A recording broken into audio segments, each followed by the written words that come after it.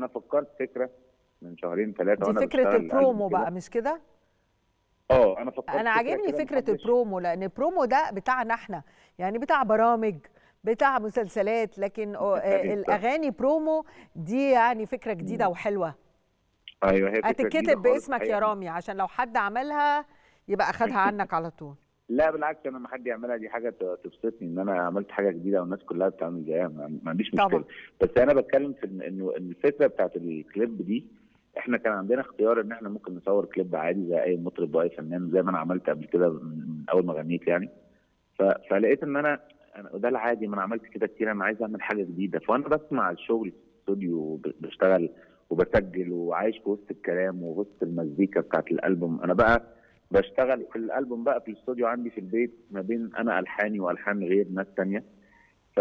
فاكتشفت من ضمن ال... ال... ال... ال... وأنا شغال ان, أنا ممكن اصور الألبوم ده كله زي إعلان كده إن هو زي ما ما وصل في الآخر اتصور كده زي ما الناس شافته.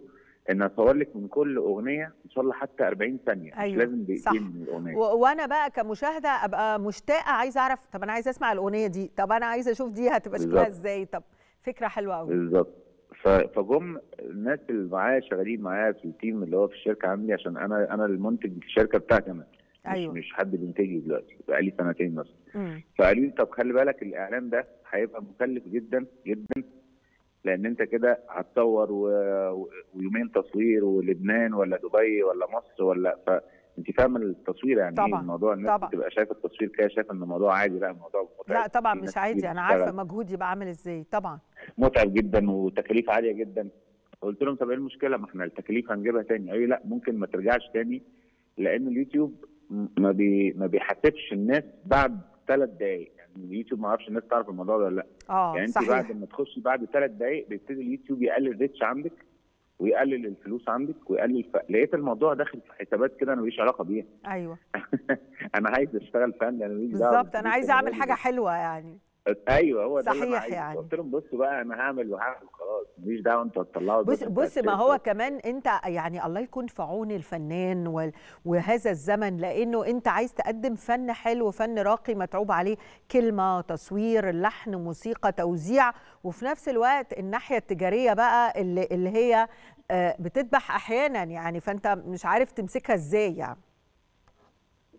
أيوه هي طبعا جزء منها فن إحنا فنانين كلنا بنبقى عايزين نلبس كويس وشكلنا يبقى حلو.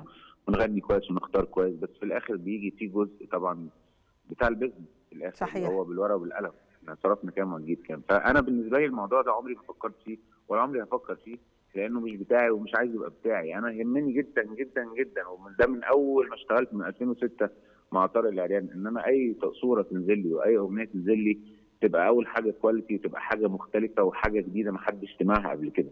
ما عنديش صحيح. مشكلة إن أنا أقعد سنة ما أعملش شغل بس عندي بس ده معروف إن أنا- عنك. أنت طول الوقت حريص على شغلك حقيقي يعني.